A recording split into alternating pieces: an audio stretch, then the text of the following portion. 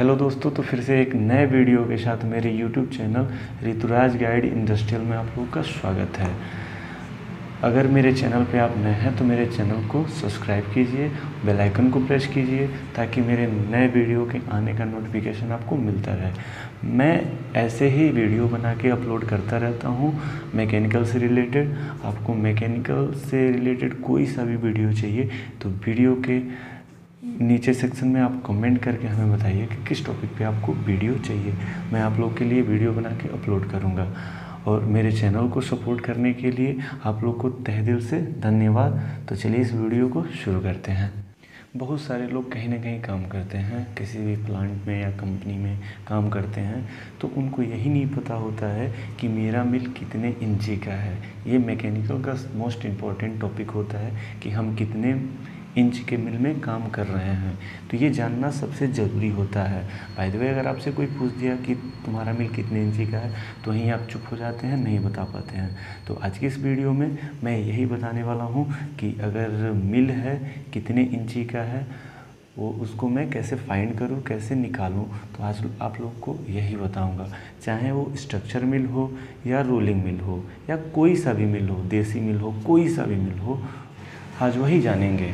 तो अगर आप कहीं इंटरव्यू में भी जाते हैं तो पूछता है इंटरव्यूअर कि इसके पहले आप जहाँ काम करते थे, वहाँ पे कितने इंची का मिलता तो आपको पता नहीं रहता, बता नहीं पाते हैं। तो वो समझ जाता है, ये बंदा काम नहीं किया हुआ है, इसको सैलरी कम देना है। तो ये जानना बहुत ज़रूरी होता है। तो अभी ये देखिए, तीन रोल हैं और यहाँ पे इसके साइड में तीन। कार्डन सॉफ्ट है, एक, दो, तीन। जो पिनियन गेयर बॉक्स से जुड़ा हुआ है। उसके जस्ट बाजू में अगर आप देखेंगे तो पिनियन गेयर बॉक्स जो कार्डन सॉफ्ट से जुड़ा हुआ है, जिससे वो पिनियन गेयर बॉक्स जुड़ा हुआ है, और उसके जस्ट बाजू में रिडक्शन गेयर बॉक्स होता है। तो चलिए थोड़ा और साइड से चल के उसको देखते हैं। ये देखिए आपका एलआरएस है, जो मोटर को स्टार्ट करते हैं। ये मिल का सबसे बड़ा मोटर होता है। जिसको कहते हैं रफिंग मोटर।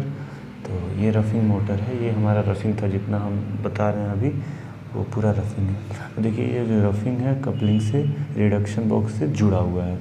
अब रिडक्शन बॉक्स जो है आपका, पिनियन से जुड़ा हुआ है। कई रोलिंग मिल में क्या होता है कि फ्लाईविल लगा होता है तो इस मिल में फ्लाईविल नहीं लगा हुआ है। इसमें जो एल लगा हुआ है, वो ऑटोमेटिक एल है। अगर बाय द वे अगर बिलेट आता है और बिलेट इस रोल में फंस जाता है तो क्या होगा जो हमारा एल है ऑटोमेटिक बंद कर देगा मतलब बंद हो जाएगा ट्रिप हो जाएगा, जिससे मोटर बंद हो जाएगा और मोटर जलने का चांसेस कम हो जाएगा।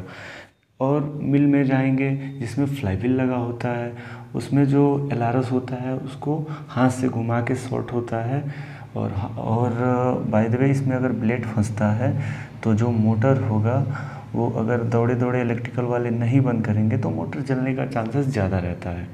तो इसलिए यही होता है कि फ्लाईविल अगर लगा होता है तो मोटर का प्रोटेक्शन नहीं होता है, और फ्लाईविल नहीं लगा होता है, जिसमें ऑटोमेटिक एल होता है, उसमें मोटर का प्रोटेक्शन रहता है।